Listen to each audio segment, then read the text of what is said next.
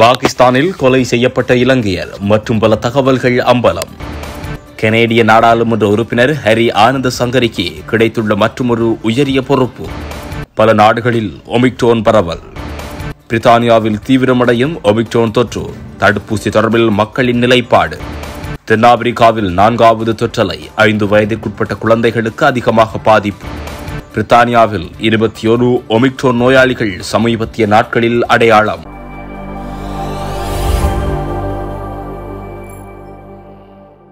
கடந்த வெள்ளிக்கிழமை பாகிஸ்தானில் இலங்கையர் ஒருவர் கொலை செய்யப்பட்ட சம்பவம் தொடர்பான மேலும் பல தகவல்கள் வெளியாகியுள்ளன. பஞ்சாப் காவல்துறை பிரதானி சர்மார் அலிகான் நேற்று இது தொடர்பான தகவல்களை வெளியிட்டுள்ளார். சம்பவம் ஏற்பட்ட தொழிற்சாலைக்கு வெளிநாட்டு பிரதிநிதிகள் குழு வரவுள்ளமையினால் அங்குள்ள இயந்திரங்களில் ஒட்டப்பட்டிருந்த மதம் சார்ந்த பதாதைகளை அகற்றுமாறு முகாமையாளரான பிரியந்து குமார தியவடவினால் அறிவிக்கப்பட்டுள்ளது. இந்த நடவடிக்கைக்கு எதிர்ப்பு தெரிவித்த தொழிற்சாலையின் பணியாளர்கள் பிரியந்து குமாரதிய தியவடன இஸ்லாம் மதத்திற்கு எதிராக செயற்படுவதாக தெரிவித்து அவருக்கு எதிராக ஆர்ப்பாட்டத்தில் ஈடுபட்டுள்ளனர். பின்னர் அவரை தாக்கிய பணியாளர்கள் அங்கிருந்து வெளியே அழைத்து சென்று வீதியில் வைத்து மீண்டும் தாக்குதல் நடத்தி கொலை செய்துள்ளனர். இந்த சம்பவம் தொடர்பில் முக்கிய சந்தேக நபர்களான ஃபர்வார் இத்ரீஸ் மற்றும் உஸ்மான் ரசீத் ஆகியோர் கைது செய்யப்பட்டுள்ளதாக பஞ்சாப் காவல்துறை பிரதானி தெரிவித்துள்ளார். கைதானவர்களில் பதிமூன்று பேர் பிரதான சந்தேக நபர்கள் என தெரிவிக்கப்பட்டுள்ளது. கனடாவில் நாடாளுமன்ற உறுப்பினராக உள்ள இலங்கை தமிழர் கரி ஆனந்த சங்கரிக்கு புதிய பொறுப்பை பிரதமர் ஜஸ்டின் ட்ரூடோ வழங்கியுள்ளார். இரண்டு மாதங்களுக்கு முன்னர் நடந்த கனேடிய பொதுத் தேர்தலில் லிபரல் கட்சி சார்பில் போட்டியிட்ட இலங்கை தமிழரான கெரி ஆனந்த சங்கரி வெற்றி பெற்று நாடாளுமன்ற உறுப்பினரானார். இந்த நிலையில் கேரி ஆனந்த சங்கிரிக்கு மேலும் ஒரு முக்கிய பொறுப்பை வழங்க உத்தரவிட்டுள்ளார் பிரதமர் ஜஸ்டின் ட்ரூடோ. அதன்படி நீதித்துறை அமைச்சர் மற்றும் தலைமை சட்டத்தரணிக்கு நாடாளுமன்ற செயலாளராக கரி ஆனந்த சங்கரி நியமிக்கப்பட்டுள்ளார். இந்த வாய்ப்பை வழங்கிய பிரதமர் ஜஸ்டின் ட்ரூடோவிற்கு அவர் நன்றி தெரிவித்துள்ளமையும் குறிப்பிடத்தக்கது. ஒமிக்ரோன் பிரிவானது இதுவரையில் முப்பத்தி எட்டு நாடுகளுக்கு பரவியுள்ளதாக உலக சுகாதார ஸ்தாபனம் தெரிவித்துள்ளது. ஒமிக்ரோன் எந்தளவு தாக்கத்தை ஏற்படுத்தும் அதற்கான சிகிச்சைகள் மற்றும் தடுப்பூசிகள் எந்தளவிற்கு பயனுள்ளதாக இருக்கும் என்பது தொடர்பான தீர்மானங்களை எடுக்கும் இன்னும் சில வாரங்கள் செல்லும் என உலக சுகாதார ஸ்தாபனம் தெரிவித்துள்ளது. இந்த பிறழ்வானது தென்னாப்பிரிக்காவில் அடையாளம் காணப்பட்டு தற்போது அமெரிக்கா மற்றும் ஆஸ்திரேலியா ஆகிய நாடுகளில் மிக வேகமாக பரவி வருகிறது. இதுவரையில் அமெரிக்காவின் ஆறு பிராந்தியங்களிலும் ஆஸ்திரேலியா சிட்னி நகரில் பதிமூன்று பேரும் ஒமிக்ரோன் தொற்றுக்குள்ளாகியுள்ளார்கள் என தெரிவிக்கப்பட்டுள்ளது.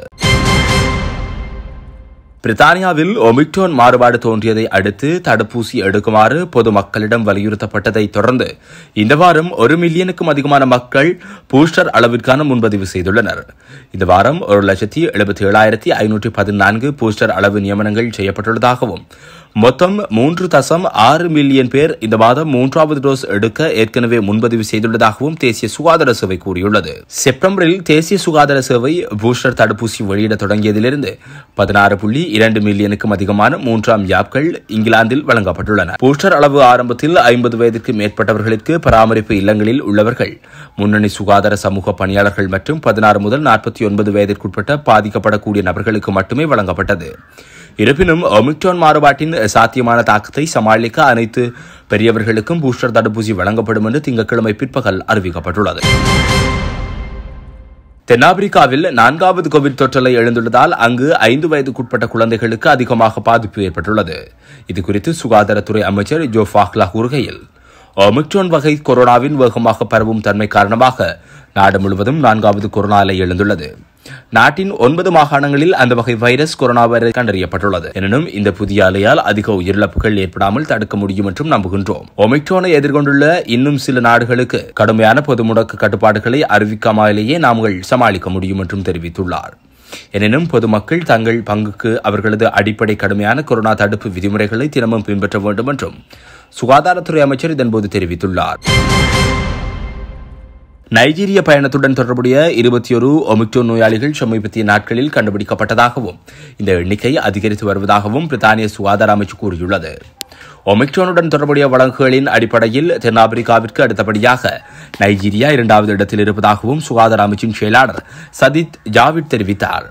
எனவே தடுப்பூசிகளை கொரோனா வைரசுக்கு எதிரான நாட்டின் முதல் பாதுகாப்பு என்பதனால் பூஸ்டர் தடுப்பூசியை பெற்றுக் கொள்ளுமாறும் அவர் மக்களை கேட்டுக்கொண்டுள்ளார். மேலும் இருபத்தி ஆறு ஒமிக்ரோன் நோயாளிகள் கண்டறியப்பட்டுள்ள நிலையில் அவற்றில் இருபத்தி ஐந்து இங்கிலாந்திலும் ஒன்று ஸ்காட்லாந்திலும் பதிவாகியுள்ளன. அந்த எண்ணிக்கை இங்கிலாந்தின் மொத்த ஒமிக்ரோன் நோயாளிகளின் எண்ணிக்கையை நூற்றி இருபத்தி ஒன்பதாக கொண்டு வந்துள்ள அதே நேரம். ஸ்கொட்லாந்தில் இதுவரை முப்பது நோயாளிகளும் வேல்ஸில் ஒரு நோயாளியும் அடையாளம் காணப்பட்டுள்ளனர்.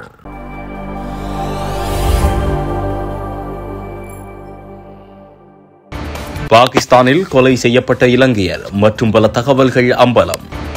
கனேடிய நாடாளுமன்ற உறுப்பினர் ஹரி ஆனந்த சங்கரிக்கு கிடைத்துள்ள மற்றொரு உயரிய பொறுப்பு. பல நாடுகளில் ஒமிக்ரோன் பரவல். பிரித்தானியாவில் தீவிரமடையும் ஒமிக்ரோன் தொற்று தடுப்பூசி தொடர்பில் மக்களின் நிலைப்பாடு. தென்னாப்பிரிக்காவில் நான்காவது தொற்றலை ஐந்து வயதிற்குட்பட்ட குழந்தைகளுக்கு அதிகமாக பாதிப்பு. பிரித்தானியாவில் இருபத்தி ஒரு ஒமிக்ரோன் நோயாளிகள் சமீபத்திய நாட்களில் அடையாளம்.